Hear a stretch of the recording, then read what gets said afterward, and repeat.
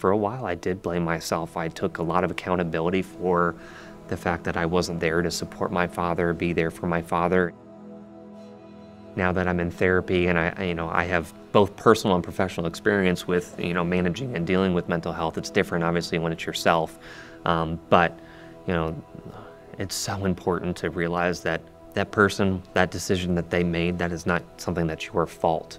You know, that's ultimately a decision that they have made at the end of their day. And um, as much as I want to take accountability and action and responsibility for that decision, it wasn't my decision to be made. Um, I, I can't live the rest of my life knowing that I could have done something different or better. Yeah, it's not easy. For sure, not easy. But you can't blame yourself. You can't. And that's why it's important to surround yourself with the people that have unconditional love and support for you